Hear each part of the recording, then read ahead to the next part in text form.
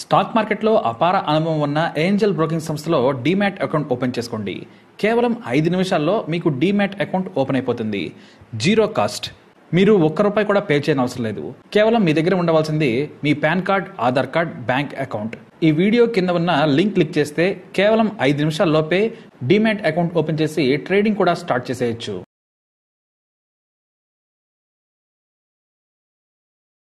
తల్లి క్యాన్సర్తో తల్లడిల్లుతుంటే చూసి తట్టుకోలేకపోయాడో చిన్నారి.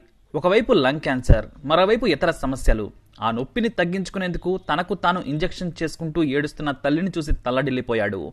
ఎలాగైనా సరే మా అమ్మ లాంటి కష్టం ఎవరికీ రాకుండా చూసుకోవాలి. అందుకు నేను పెద్దయ్యాక దేశం గర్వించే డాక్టర్ కావాలనుకున్నాడు ఆ చిన్నారి. చివరకు అయ్యాడు కూడా. ఇది వినగానే మీకు పాత తెలుగు సినిమా కథలా అనిపించవచ్చు కానీ ఇది నిజం. బ్రిటన్ గర్వించే డాక్టర్ అయ్యాడు కానీ ఆ తర్వాతే సంచలనం సృష్టించాడు. డాక్టర్ దగ్గరకు పేషెంట్లు వెళ్ళాలంటేనే భయపడేలా చేశాడు ఆ వ్యక్తి. అతని పేరు హెరాల్డ్ షిప్మెన్ అతని జీవిత చరిత్ర బ్రిటన్లోనే కాదు యావత్ యూరప్లో కూడా చాలా మందికి తెలుసు. మరీ ముఖ్యంగా వైద్య వృత్తిలో ఉన్నవారికి ఆయన పేరు తెలియకుండా అస్సలు ఉండదు. ఎందుకంటే రూల్స్ బుక్ను మార్చేలా చేశాడు. Harold Shipman nineteen forty six జనవరి పద్నాలుగున ఇంగ్లాండ్లోని నాటింగ్ హోమ్లో పుట్టాడు. అతని తల్లిదండ్రులు తమ బిడ్డకు మంచి జీవితం ఇవ్వాలని మాంచెస్టర్కు మారారు. అక్కడ హెరాల్డ్ తల్లిదండ్రులు పనిచేసుకుంటూ తమ జీవితాన్ని హాయిగా గడుపుతున్నారు. అయితే హెరాల్డ్కు ఐదేళ్ళు ఉండగానే అతని తల్లికి లంగ్ క్యాన్సర్ సోకింది. ఆ తర్వాత ఇతర జబ్బులు కూడా వెంటాడాయి. దీంతో హెరాల్డ్ తండ్రి భార్య ఆరోగ్యం కోసం డబ్బులు సంపాదించేందుకు చాలా కష్టపడేవాడు. ఇక ఇంటి దగ్గరే ఉంటున్న హెరాల్డ్ తల్లిని చూసి ఏడ్చేవాడు. ఐదేళ్ళు నిండగానే దగ్గరలోని ప్రభుత్వ పాఠశాలలో చేర్పించారు. కానీ తల్లికి రోజు రోజుకు ఆరోగ్యం క్షీణిస్తూ ఉండడం చూసి భయపడేవాడు. ఆమె తన కొడుకు కాస్త ఎదిగే వరకు బ్రతకలేకపోతున్నానని ఏడ్చేది. ఇక నొప్పుల కోసం డాక్టర్లు ఇంజెక్షన్లు ఉన్నా వాటిని వేయడానికి అందుబాటులో ఎవరు ఉండేవారు కాదు. ఆమె భర్త పనికి వెళ్ళేవారు దీంతో తనకు తానుగా సొంతంగా ఇంజెక్షన్లు వేసుకుంటూ నరకం అనుభవించేది. ఆ బాధను చూసి నేను పెద్దయ్యాక డాక్టర్ అవుతానమ్మా బోల్డ్ అంత డబ్బు సంపాదిస్తాను మీకు మంచి వైద్యం చేస్తానని చెప్పేవాడు హెరాల్డ్. తెలిసి తెలియని వయసులోనే ఆ మాటలు విని హెరాల్డ్ తల్లి సంతోషించేది. తన తల్లి అనారోగ్యం హెరాల్డ్ మనసులో బలంగా నాటుకుపోయింది. నిజంగానే స్కూల్లో కష్టపడి చదువుకునేవాడు. హెరాల్డ్ తండ్రి తన పనేంటో తాను చూసుకునేవాడు. అసలు కొడుకు ఏం చదువుకుంటున్నాడో కూడా పట్టించుకునేవాడు కాదు. ఇక హెరాల్డ్ ఎనిమిదవ ఏటనే తల్లి చనిపోయింది. చదువులో చురుకుగా ఉండే హెరాల్డ్కు తండ్రి కాసంత సాయంగా ఉండేవాడు. కానీ హెరాల్డ్కు టీనేజ్ వయసు వచ్చేసరికి అతని తండ్రి మరో మహిళను పెళ్ళి చేసుకుని కొడుకును నెగ్లెక్ట్ చేశాడు. కాకపోతే అప్పుడప్పుడు డబ్బు సాయం చేసేవాడు. కానీ అది సరిపోయేది కాదు. ఆయన సొంతంగా తానే వండుకుంటూ తింటూ చదువుకునేవాడు హెరాల్డ్. ఇక కాలేజీలో చదివే సమయంలోనే ఎక్స్టోబీ అనే మహిళను పెళ్ళి చేసుకున్నాడు. ఒకవైపు చదువుకుంటేనే బయట ఆసుపత్రిలో పనిచేస్తూ ఇద్దరు సంపాదించుకునేవారు. ఇక పెళ్ళైన ఐదేళ్ళకే నలుగురు పిల్లలను కన్నారు హెరాల్డ్ దంపతులు. దీంతో డబుల్ డ్యూటీలు చేసి సంపాదించేవాడు. అయినా సరే చదువు మాత్రం నెగ్లెక్ట్ చేయలేదు. రోజుకు పద్దెనిమిది గంటలు తీరిక లేకుండా గడిపాడు హెరాల్డ్. అలా ప్రభుత్వ కాలేజీలో సీటు సంపాదించి స్కాలర్షిప్లు కూడా సాధించాడు. అలా పడుతూ లేస్తూ పంతొమ్మిది వందల డెబ్బైలో లీడ్స్ యూనివర్సిటీ నుంచి మెడికల్ డిగ్రీ పొందాడు హెరాల్డ్. అది కూడా కాలేజీ టాపర్గా. ఆ రోజు తన సపోర్ట్ అంతంత మాత్రంగా ఉన్నా అతని తండ్రి కొడుకు విజయం చూసి గర్వించేశాడు. అతను అనారోగ్యం పాలైతే తానే వైద్యం చేశాడు. తల్లికి వైద్యం చేయలేకపోయినా తండ్రికి చేశాననే తృప్తి అతనిలో ఉంది. కానీ హెరాల్డ్ మారు తల్లి అతన్ని పెద్దగా పట్టించుకునేది కాదు. ఒక వైద్య శాస్త్రంలో అద్భుతమైన ప్రతిభ చూపిన తన తల్లి మరణం తండ్రి ప్రవర్తన పినతల్లి అవమానకరమైన మాటలు అతని మనస్సును గాయపరిచాయి. కానీ వైద్య శాస్త్రానికి సంబంధించిన పుస్తకాలు చదివిన పేషెంట్లకు చికిత్స చేస్తున్నా అన్ని మరిచిపోయేవాడు. ఇక పీజీ పూర్తి చేసిన తర్వాత కేవలం ఐదేళ్ళలోనే ల్యాంగ్ పేరున్న జనరల్ ఫిజిషియన్గా పేరు తెచ్చుకున్నాడు. అయితే అక్కడే ఒకదానికి బానిసయ్యాడు. అతనికి తెలియకుండానే ఒపియోడ్ పెదోడైన్ అనే డ్రగ్కు బానిసయ్యాడు. దానిని కొనేందుకు తనకు తానుగా తప్పుడు ప్రిస్క్రిప్షన్స్ రాసి హాస్పిటల్ నర్సులతో తెప్పించుకునేవాడు. అయితే అన్ని మందులను ఒకే డాక్టర్ రాస్తూ ఉండడంతో అనుమానించి వచ్చి హాస్పిటల్ సూపరింటెండెంట్ నిలదీయగా తాను బానిసయ్యానని సమాధానమిచ్చాడు. దీంతో మంచి డాక్టర్ను ఎందుకు శిక్షించడమని అతన్ని రీహాబిలిటేషన్కి వెళ్ళాల్సిందిగా సూచించారు. ఆ తర్వాత అతను వ్యసనం నుంచి బయటపడేందుకు చాలా సమయం పట్టింది. పంతొమ్మిది వందల డెబ్బై ఏడులో తాను ఉన్న చోట వైద్యం చేస్తే బాగోదని గ్రేటర్ మాంచెస్టర్లోని హైడ్ అనే ప్రదేశానికి వెళ్ళి సొంతంగా ఒక చిన్న క్లినిక్ పెట్టుకున్నాడు ఆయన తన టాలెంట్కు ఎక్కడైనా గొప్పగా డబ్బులు సంపాదించి బ్రతకొచ్చు కానీ హాస్పిటల్ వాతావరణం ఇతరుల హంగామాలేని ప్రదేశానికి వెళ్ళాలనుకున్నాడు మారుమూల ప్రాంతంలో గొప్ప డాక్టర్ క్లినిక్ పెట్టారని తెలిసి జనం కూడా తండోపతండాలుగా వచ్చేశారు. కానీ వారిని హాస్పిటల్లో ఉంచేందుకు ప్లేస్ లేదు. దీంతో ఎక్కువగా డబ్బులు తీసుకొని వారి ఇంటి దగ్గరకే వెళ్ళి వైద్యం చేసేవాడు.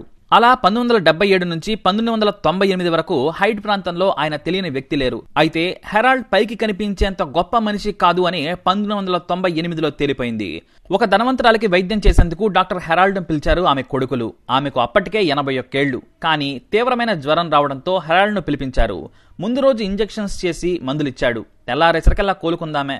ఇక మరుసటి రోజు సాయంత్రం మరో ఇంజెక్షన్ ఇచ్చాడు. కానీ అతను ఆ ప్యాలెస్ గేటు దాటిన పది నిమిషాలకే ఆ వృద్ధురాలు చనిపోయింది. వెంటనే డాక్టర్ను పిలవగానే గుండెపడుతో చనిపోయిందని చెప్పి వెళ్ళిపోయాడు. అటాప్సీ కూడా అక్కర్లేదని సలహా ఇచ్చి కూల్గా వెళ్ళాడు హెరాల్డ్. దీంతో ఏం జరిగిందో వారికి అర్థం కాలేదు. కోలుకొని సంతోషంగా మాట్లాడుతున్న వ్యక్తి ఎలా సడన్గా చనిపోయిందని అంతా కూడా డాక్టర్ను అనుమానించారు. కానీ నిజంగానే గుండెపొడితో చనిపోయి ఉంటుందని తమకు తాము సర్ది చెప్పుకున్నారు. అయితే అంత్యక్రియలు ముగిసిన తర్వాత ఒక లాయర్ నోటీస్ డాక్టర్ హెడాల్ నుంచి సదరు వృద్ధురాలి కొడుకులకు వెళ్ళింది.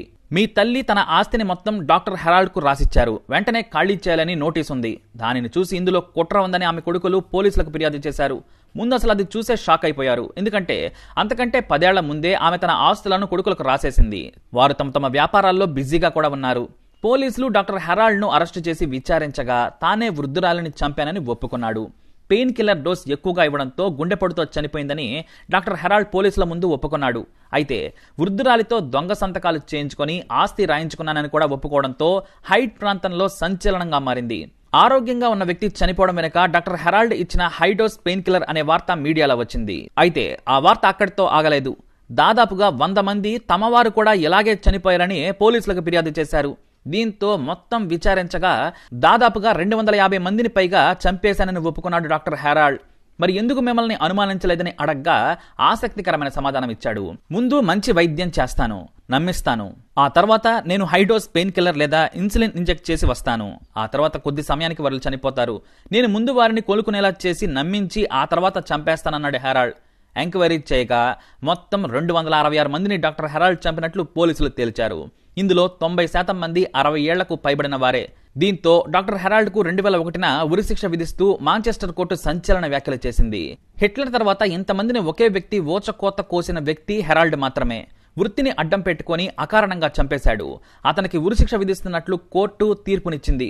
అతనికి బ్రతికే అర్హత లేదని వ్యాఖ్యానించింది. అయితే ఉన్నత న్యాయస్థానం అతని శిక్షను యావజ్జీవ శిక్షగా మార్చేసింది. హెరాల్డ్ కేసు తర్వాత యూరోప్ మెడికల్ బోర్డు కీలక నిర్ణయాలు తీసుకుంది. పేషెంట్కు ఇచ్చిన ప్రతి మెడిసిన్ను తమ రికార్డులలో నమోదు చేయాలి. అంతేకాక చనిపోయిన తర్వాత పోస్ట్ మార్టం నివేదికలో ప్రతి అంశాన్ని నమోదు చేయాలి. గుండెపోటుతో చనిపోతే మరింత శ్రద్ధతో పోస్ట్ మార్టం నిర్వహించాలని వంద రకాల నిబంధనలను పొందుపరిచారు. అయితే అసలు హెరాల్డ్ వారిని ఎందుకు హత్య చేసింది అతను సరిగ్గా చెప్పలేదు. అతను డబ్బు కోసం చంపింది కేవలం ఆ వృద్ధురాలని మాత్రమే. ఆ ఒక్క కేసు వల్లే అతని బండారం బయటపడింది. హెరాల్డ్కు పెద్దగా ఆస్తులు కూడా ఏమీ లేవు. తన తల్లిని చూసినప్పుడు చిన్నప్పుడే అతని మనస్సు కఠినంగా మారి ఉంటుంది. ఆ కారణంగానే మానసిక సమస్యలు వచ్చి ఉంటాయని డాక్టర్లు భావించారు. ఇక అసలు హత్యలు చేసిన విషయం గురించి అయితే కనీసం అనుమానం కూడా తమకు రాలేదని అతని భార్య పిల్లలు కూడా చెప్పారు. మూడేళ్ళు జైల్లో మానసిక క్షోభ అనుభవించాడు డాక్టర్ హెరాల్డ్. తాను హత్యలు చేసినప్పుడు బాధపడలేదు బయటపడకుండా వరుసగా చంపుకుంటూ వెళ్ళిపోయాడు ఆయన. అది కూడా నమ్మించి చంపాడు. వైద్యం గురించి తెలియని అమాయకులు తమ డాక్టర్ బ్రతికించడానికి ప్రయత్నించారని ఆయన చేతిలో చనిపోయిన పేషెంట్ బంధువులు కూడా హెరాల్డ్కు కృతజ్ఞతలు చెప్పారు. కానీ జైలుకు వచ్చిన సమయంలో కొడుకులు భార్య ఆయన చేసిన తప్పులను చూసి చేదరించుకున్నారు. నువ్వు తండ్రివని చెప్పుకోవడానికి కూడా సిగ్గుపడుతున్నామన్నారు. ఎందుకంటే ఇద్దరు కొడుకులు డాక్టర్లు. వారితో వైద్యం చేయించుకోవాలంటేనే జనం భయపడిపోయారు. దీంతో తమ వారి చేదరింపులను ఆయన తట్టుకోలేకపోయారు. రెండేళ్ళు కనీసం అతన్ని చూడటానికి కూడా ఎవరూ రాలేదు. దీంతో జైల్లోనే ఉరివేసుకుని చనిపోయారు డాక్టర్ హెరాల్డ్. కానీ ఆయన కారణంగా వైద్య ప్రక్రియ మాత్రమే కాదు శవ పరీక్ష నిబంధనలను బ్రిటన్లో కఠినతరం చేశారు. ఆ తర్వాత యూరప్ కూడా హెరాల్డ్ దెబ్బకు రూల్స్ను మార్చుకుంది. అలా ఒక బ్రైట్ స్టూడెంట్ సీరియల్ కిల్లర్ అయ్యాడు. కానీ అంతమందిని ఎందుకు చంపాడో కనీసం మాట మాత్రం కూడా చెప్పలేదు డాక్టర్ హెరాల్డ్. ఆ రహస్యాన్ని తన మరణంతో పాటే తీసుకెళ్ళిపోయాడు ఆయన మొత్తానికి బ్రైట్ స్టూడెంట్ ఇలా కిల్లర్గా మారి చాలా దారుణంగా చంపేశాడు. ఎంతలా అంటే హిట్లర్ తర్వాత ఎంతమందిని చంపింది ఇతనే. మరి హెరాల్డ్ జీవితంపై మీరేమంటారో మీ అభిప్రాయాన్ని కూడా తప్పకుండా కామెంట్ ద్వారా తెలియజేయండి. అలాగే ఇలాంటి ఇన్ఫర్మేషన్స్ కోసం ఈ వీడియోని లైక్ చేయండి షేర్ చేయండి మా ఛానల్ని సబ్స్క్రైబ్ చేసుకోండి.